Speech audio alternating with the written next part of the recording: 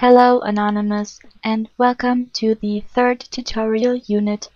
In this unit we will show you how to combine the material you have downloaded in the second tutorial unit into an anonymous propaganda video for the internet. Start Movie Maker and begin a new project. Import all the files you have downloaded and wish to use in your video. But before we start fitting the pieces together, you should have a rough plan on how your video should look like when it is finished. For example, you could make a music video in which the music and the pictures fitting the mood of the music are timed on each other. Or you could make a trailer for a future operation in which you outline the objectives and the data.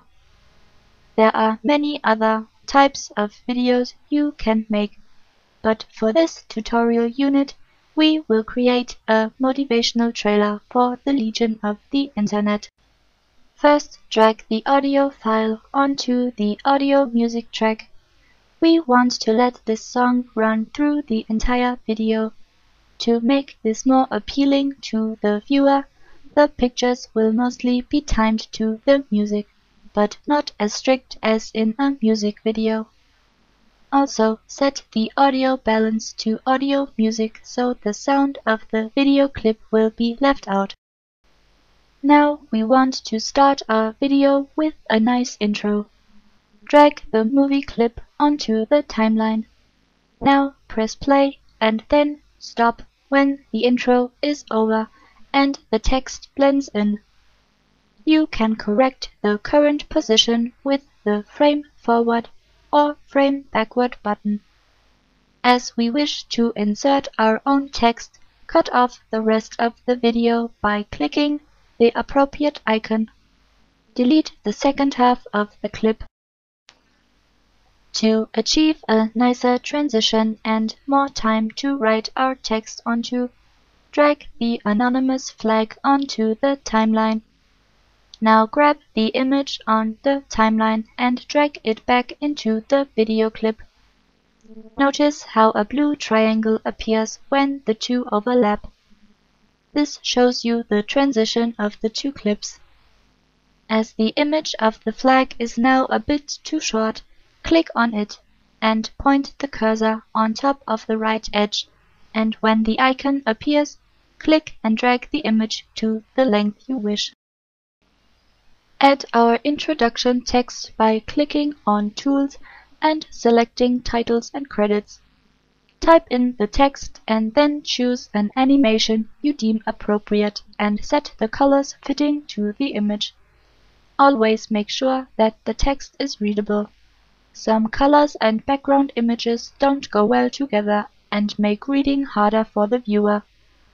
To blend out our introduction nicely, create a black JPEG in a graphic program, for example Paint.net, in the same size as the video and after importing it, drag it onto the timeline and let it fade into the image of the flag. Now we wish to achieve an effect as in old movies, for we will recap the beginning of Chanology in a very short form Drag the black JPEG onto the timeline again and apply a fitting video effect on it. Add some text as we have done before and choose a fitting font. Now add some pictures, dragging fitting effects onto them and let them blend into each other. Always have in mind that timing images and text to the music makes it more appealing to view. After filling the timeline some more, we will continue and tell something about the current status of Operation Chanology. For this, we will insert one of the downloaded video clips which has a technological and futuristic touch to it. This corresponds well with the old movie look we've just used. As you can see, this clip has high contrast. This will make it hard to add a text on top and still keep it readable. With a little trick this can be fixed. Create a white JPEG as you've done before in black Drag it onto the timeline and blend it in.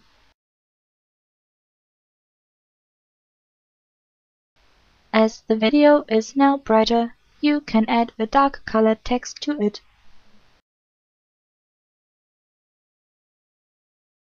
Drag our second clip onto the timeline and let it blend in.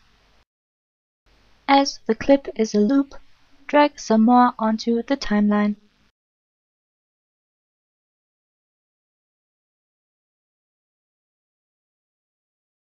Now add some text, for example, web addresses you wish the viewer to visit.